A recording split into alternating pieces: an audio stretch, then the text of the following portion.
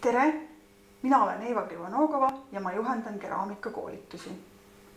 kui keraamika tegemist millegagi võrrelda, siis maailma loomisega. võtad peotäie mudalaadset ollust, natuke mudid, natuke patsutad ja tulemuseks on kaunis taies. keda me ootame keraamikakoolitustele? kõiki.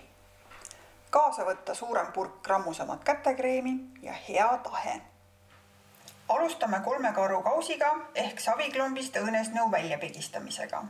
veel rullime. lõikame ja kleebime. koputame. kraabime. ning glasuurime eelpõletatud potikesi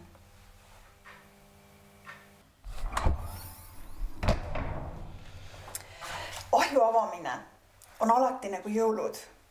kas tuleb välja nagu soovitud või hoopis vahvam. muidugi on keraamikaga tegelemine ohtlik. sellest võib sõltuvusse sattuda.